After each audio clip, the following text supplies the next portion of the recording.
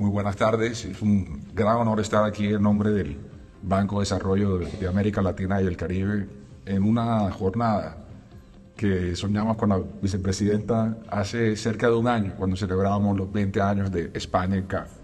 Y decíamos esta mañana que la atmósfera no reconoce límites ni fronteras, que es un espacio común, que nuestros océanos son espacios comunes y que requieren pues, más que nunca la coordinación para poder acometer la responsabilidad histórica que tenemos.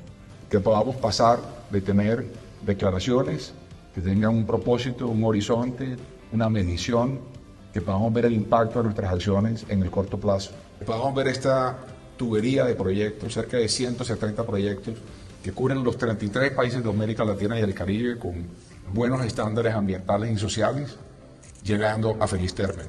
Y esa será la tarea de los bancos de desarrollo, de las agencias de desarrollo. Nuestro propósito es inquebrantable, nuestra voluntad está puesta para sacar esto adelante. Y hemos llegado a un punto, inclusive en América Latina, donde hay que escoger qué agenda servimos, si la agenda social o la agenda ambiental, si servimos la transición energética o servimos la transición digital.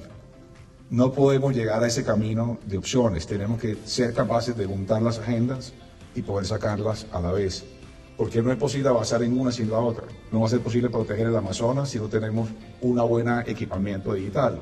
No va a ser posible salvar el Amazonas si no atendemos a la gente que está en el Amazonas, los cerca de 50 millones de personas en ocho países que viven en ese pulmón que le sirve a la humanidad.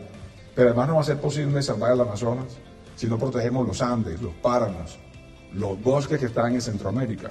Y por supuesto, ese 1% del mar Caribe, de nuestras islas del Caribe, que retiene el 10% del carbono mundial. Eso implica coordinación, eso implica esfuerzo en preparación de proyectos y de financiamiento. Hemos dejado un efecto duradero para efectos de garantizar que tengamos una relación que sea duradera entre España y la Unión Europea y por supuesto nuestra tierra, América Latina y el Caribe. Y gracias, vicepresidenta, por su generosidad con los proyectos y con la ilusión de que podemos sacar esto adelante. No va a ser fácil, pero vamos a poner todo el empeño, vicepresidenta, con seguridad junto con Ilan y su equipo, podemos hacer un gran trabajo. Muchas gracias.